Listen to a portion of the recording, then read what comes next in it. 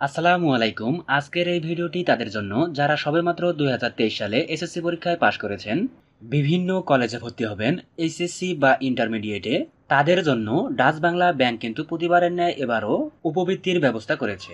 এখানে দুই বছরে সর্বমোট সাতষট্টি হাজার টাকা দেওয়া হবে, বছরে তেত্রিশ হাজার পাঁচশত টাকা এবং মাসে পঁচিশশো টাকা হারে। সো, এই ভিডিওটি আপনাদের জন্য খুবই গুরুত্বপূর্ণ হতে চলেছে। ডাচ বাংলা ব্যাংকের এই উপবৃত্তিটিতে বাংলাদেশের সকল জেলা থেকে ছেলে মেয়ে উভয় প্রার্থীরা আবেদন করতে পারবেন। আমরা এই ভিডিওতে দেখিয়ে দেব এই উপবৃত্তিটির জন্য কীভাবে আপনার হাতের ফোনটি দিয়ে অনলাইনে আবেদনটি সম্পূর্ণ করবেন। আশা করছি আপনারা যদি এই ভিডিওটি মনোযোগ সহকারে দেখেন, তাহলে আপনি নিজে নিজেই উপবৃত্তির জন্য আবেদন করতে পারবেন। প্রিয় বন্ধুরা, মূল ভিডিওটি শুরু করার আগে আপনাদের কাছে ছোট্ট একটি অনুরোধ।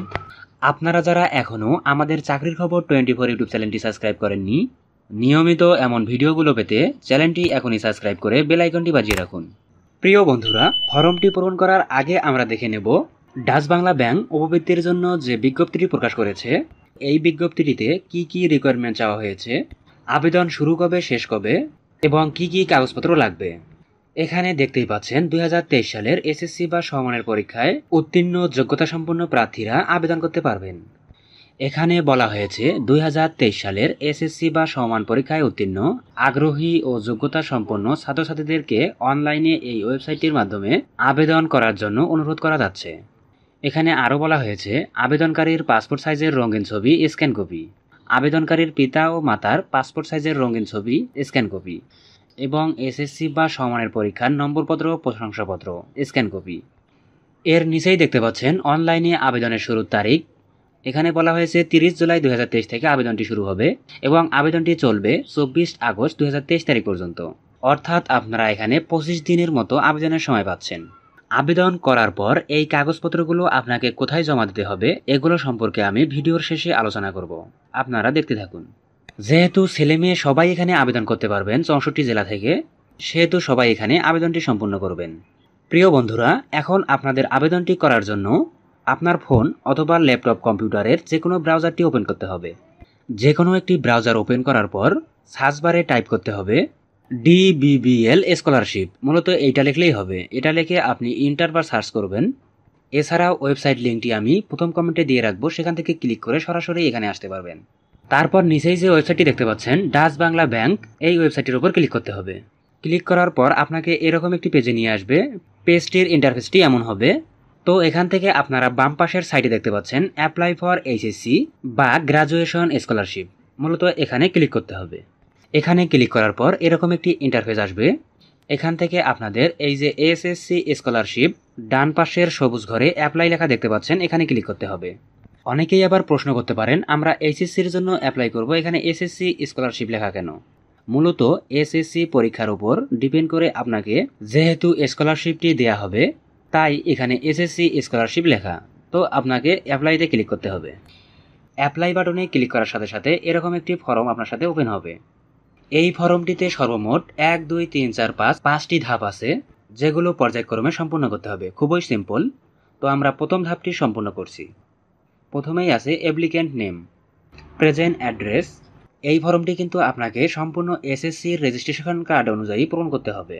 কোনো প্রকার ভুল করা চলবে না। প্রিয় বন্ধুরা, আপনারা এখানে অ্যাপ্লিকেশন ফর্মটি দেখতে পাচ্ছেন। প্রথমেই আছে অ্যাপ্লিক্যান্ট নেম এখানে আমি আবেদনকারীর নাম দিলাম।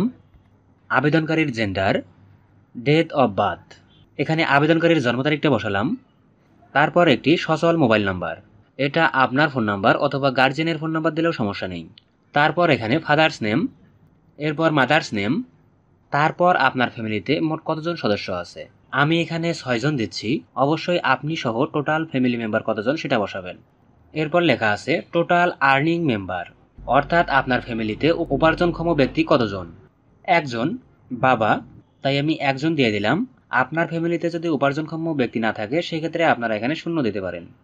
এরপর আপনার প্রেজেন্ট অ্যাড্রেস প্রেজেন্ট অ্যাড্রেসেও আপনার গ্রামের নাম পোস্ট অফিসের নাম, থানার নাম এবং জেলার নাম দেবেন। তারপর আপনাকে পারমানেন্ট অ্যাড্রেস দিতে হবে। মূলত প্রেজেন্ট অ্যাড্রেসটি যা দেবেন পারমানেন্ট অ্যাড্রেসটিও সেটাই দেবেন। যদি ভিন্ন হয়, সেক্ষেত্রে ভিন্ন দিতে পারেন, সমস্যা নেই। তারপর এখানে দেখতে পাচ্ছেন পারমানেন্ট হোম ডিস্ট্রিক্ট এখানে আপনার হোম ডিস্ট্রিক্টের নাম দেবেন। এরপর পারমানেন্ট হোম উপজেলা, এখানে আপনি আপনার উপজেলার নাম দেবেন। এরপর প্রেজেন্ট রেসিডেন্ট টাইপ এখানে আপনি যদি ভাড়া বাড়িতে থাকেন ভাড়া বাড়ি দেবেন এবং নিজের বাড়িতে থাকলে নিজের বাড়ি দেবেন। এরপর আপনার একটি ইমেল অ্যাকাউন্ট এখানে দেবেন যেটা সচল আছে। এরপর দেখতে পাচ্ছেন টাইপ অফ হাউস অর্থাৎ আপনার বাড়িটি কোন ধরনের? কাঁচা, পাকা? তো আমি এখানে কাঁচা ঘর দেব। আপনাদের যার যেটা, সেভাবে দেবেন। এরপর দেখতে পাচ্ছেন, আপনার জমি কতটুকু আছে? আমি এখানে ছয় শতক দিলাম। এরপর এখানে বলা হয়েছে, আপনার কোনো ফিজিক্যালি সমস্যা আছে কি না? থাকলে ইয়েস না থাকলে নো তো আমি এখানে নো দেব। যদি কারও ফিজিক্যালি সমস্যা থাকে, সেক্ষেত্রে ইয়েস দেবেন। প্রথম ধাপটি আমাদের সম্পূর্ণ হলো, এরপর আমরা নেক্সট দেব। নেক্সট দেওয়ার পর এখানে আপনারা দেখতে পাচ্ছেন একাডেমিক লেভেল এখানে আপনারা এসএসসি দেবেন আর মাদ্রাসা থেকে হলে দাখিল দিয়ে দেবেন। অন্যান্য হলে টেকনিক্যাল বা অন্য কোথাও থেকে হলে আদার্স দিয়ে দেবেন।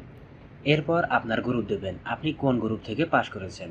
সায়েন্স আর্টস কমার্স আপনার যেটা সেটা দেবেন। এখানে পাশের বছর দিতে হবে। আপনি যে বছরে পাশ করবেন সেই সালটা এখানে দেবেন। আপনারা দু হাজার তেইশ দেবেন। এরপর আপনারা যে বোর্ড থেকে পাশ করেছেন সেই বোর্ডের নাম দেবেন। এরপর এখানে আপনার রেজিস্ট্রেশন নাম্বার তারপর আপনার রোল নাম্বার তারপর আপনি যে স্কুল থেকে পাশ করেছেন, সেই স্কুলের নাম এখানে দেবেন। এরপর আপনার স্কুলটি কোথায় অবস্থিত? আমার স্কুলটি যেহেতু জেলা শহরের বাইরে, সেহেতু আমি জেলা শহরের বাইরে দিলাম। আপনার জেলা শহরের ভিতরে হলে জেলা শহরের ভেতরে অপশনটি দেবেন। তারপর সিজিপিএ উইদাউট ফোর সাবজেক্ট অর্থাৎ চতুর্থ বিষয় বাদ দিয়ে আপনার পয়েন্টটা কত আসে সেটা এখানে বসাবেন। তারপর এখানে চতুর্থ বিষয় সহ আপনার জিপিএ কত সেটা বসাবেন। এরপর দেখতে পাচ্ছেন প্রেজেন্ট প্লেস অফ স্টুডেন্ট আপনি যদি কোথাও ভর্তি না হয়ে থাকেন, সেক্ষেত্রে এন এ দেবেন। এরপর আবার নেক্সট বাটন এরপর আবার নেক্সট বাটনে ক্লিক করবেন। নেক্সট বাটনে ক্লিক করার পর আপনারা এখানে দেখতে পাচ্ছেন ফাদার্স ইনফরমেশন তো দেখুন আমি ফাদার ইনফরমেশনগুলো কীভাবে দেই। প্রথমেই দেখতে পাচ্ছেন ফাদার্স স্ট্যাটাস এখানে জীবিত হলে জীবিত দেবেন এবং মৃত হলে মৃত দেবেন। এরপর বাবার শিক্ষাগত যোগ্যতা। আমি এখানে নিরক্ষর দিলাম। এরপর তার পেশা, কৃষি, আমি কৃষি দিলাম। আপনাদেরটা আপনারা দিবেন। এরপর তার প্রফেশন এগ্রিকালচার এরপর ফাদার্স প্রফেশন নেমস এখানে কৃষক দেয়া আছে। এখানে আপনার বাবা কতটুকু জমি আবাদ করে সেটা বসিয়ে দেবেন। আমি এখানে জিরো দিলাম। এরপর ফাদার্স অন হাউস ল্যান্ড এখানে আমরা আগেই ছয় শতক দিয়েছিলাম, আবার ছয় শতক দেব। এখানে জিরো করে দেবেন, এখানে যা আছে তাই। এরপর মাদার্স ইনফরমেশন এখানেও জীবিত থাকলে জীবিত এবং মৃত হলে মৃত্যু দেবেন। মাদার্স এডুকেশন নিরক্ষর। মাদার্স প্রফেশন গৃহিণী। এখানে নিরক্ষর। বাকি দুটি দেয়াই আছে। এখানে কিছু করার প্রয়োজন নেই। এরপর brothers and sister education information এখানে আপনার যদি ভাই বোন থেকে থাকে, তাহলে ইয়েস এবং না থাকলে নো তো আমি ইয়েস করে দিলাম। যদি ভাই বোন থেকে থাকে তাহলে তারা কি করে? আমি এগুলো এখানে পূরণ করে দিয়েছি। আপনাদেরটা আপনাদের মতো করে দেবেন। এরপর আদার্স আর্নিং মেম্বার আছে কিনা সেটা থাকলে দেবেন, না থাকলে নো দেবেন। আমি নো দিয়েছি। এরপর নিচে দেখতে পাচ্ছেন, বাবার মান্থলি ইনকাম কত? আমি সতেরোশো করে দিয়েছি। অন্য কোনো উৎস থেকে তার কোনো ইনকাম নেই। তাই বাকি ঘরগুলো ফাঁকাই থাকবে। এরপর এখানে দেখতে পাচ্ছেন, সতর্কতা, এটা একটু ভালোভাবে আপনারা পড়ে নেবেন। এরপর আবার নেক্সট বাটনে ক্লিক করবেন। নেক্সট বাটনে ক্লিক করার পর আপনার স্কলারশিপ ইনফরমেশন চাওয়া হবে। এখানে দেখতে পাচ্ছেন, আপনি অন্য কোনো সরকারি খাত থেকে স্কলারশিপ পান কি না সেটা বলা হয়েছে। তো আমি পাই না নো আমি এখানে নো দিলাম। এরপর আবেদনকারীর ভাই বোন কেউ স্কলারশিপ পায় কিনা? অর্থাৎ ডাচ বাংলা ব্যাংক থেকে কেউ স্কলারশিপ পায় কিনা? পেলে ইয়েস আর না পেলে নো আমি এখানে নো দিলাম। এরপর আবার নেক্সট বাটনে ক্লিক করবেন। নেক্সট বাটনে ক্লিক করলে এরকম একটা ইন্টারফেস চলে আসবে। যেখানে আপনাদের প্রয়োজনীয় ডকুমেন্টসগুলোর স্ক্যান কপি এখানে আপলোড করতে হবে। সর্বপ্রথম যেটা দিতে হবে সেটা হচ্ছে আপনার ছবি। তো সিলেক্ট ফাইলে ক্লিক করে আপনার ফোন অথবা ল্যাপটপ কম্পিউটার থেকে ছবিটি সিলেক্ট করে এখানে দিতে হবে। সেমভাবে নিচে ফাদার ফটো এখানে সিলেক্ট ফাইলে ক্লিক করে আপনার বাবার ছবিটি আপলোড করে দিতে হবে। এরপর মাদার ফটো এখানে সিলেক্ট ফাইলে ক্লিক করে আপনার ফোন অথবা কম্পিউটার ল্যাপটপ থেকে ছবিটি সিলেক্ট করে এখানে আপলোড করতে হবে। এরপর এসএসসির মার্কশিটের কপি দিতে হবে। এই সমস্ত ডকুমেন্টগুলো কিন্তু আপনাকে আগেই ফোনে স্ক্যান করে রাখতে হবে। এরপর আপনার যে এসএসসির টেস্টমোনিয়াল আছে, সেটা এখানে আপলোড করতে হবে বা প্রশংসাপত্র আছে, সেটা এখানে আপলোড করতে হবে। সো আমি সব কিছু আপলোড দিয়ে নিচ্ছি। এই যে আমি এখানে ছবি বা ডকুমেন্টগুলো আপলোড করেছি, এগুলো কিন্তু একটি নির্দিষ্ট রেজুলেশন এবং সাইজের হতে হবে। সেটা এখানে বলে দেওয়া আছে, আপনারা দেখে নেবেন। এখানে যে রিকোয়ারমেন্টটা দেওয়া আছে, এর কম বেশি হলে কিন্তু এখানে ছবিগুলো আপলোড নেবে না। এই বিষয়টা অবশ্যই সতর্ক থাকবেন। শুধু এটি নয়, আবেদন করতে যে কোনো সমস্যা হলে আমাদেরকে কমেন্ট বক্সে জানাবেন। ইনশাল্লাহ আমরা সমাধান করে দেওয়ার চেষ্টা করব। এছাড়াও আপনারা যদি আবেদন করতে না পারেন, সেক্ষেত্রে স্ক্রিনে দেওয়া নাম্বারে হোয়াটসঅ্যাপ বা এমোতে একটা মেসেজ করবেন। আপনাদের প্রয়োজনীয় তথ্য দিলে আমরা আপনাদের হয়ে আবেদনটা করে দেব। তো এখন আমরা সম্পূর্ণ আবেদন ফর্মটি পূরণ করার পর আমরা হচ্ছে এটা সাবমিট করব। এরপর সর্বশেষ যে কাজটি আপনাদের করতে হবে, এখানে যে কোডটি দেয়া আছে, এই কোডটি এখানে বসাতে হবে। এই কোডটি একক জনের একক রকম আসবে। আপনার যেটা আসবে সেটা আপনি এখানে বসিয়ে দেবেন।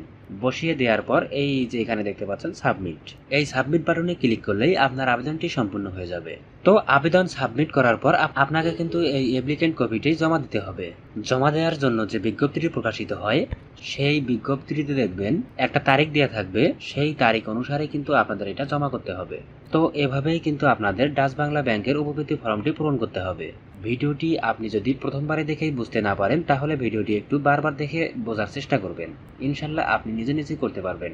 তো বন্ধুরা, আজকের মতো এখানেই বিদায় নিচ্ছি। ভুল ত্রুটি ক্ষমাসুন্দর দৃষ্টিতে দেখবেন। আর আপনাদের কোনো প্রশ্ন থাকলে তা অবশ্যই কমেন্টে জানাবেন।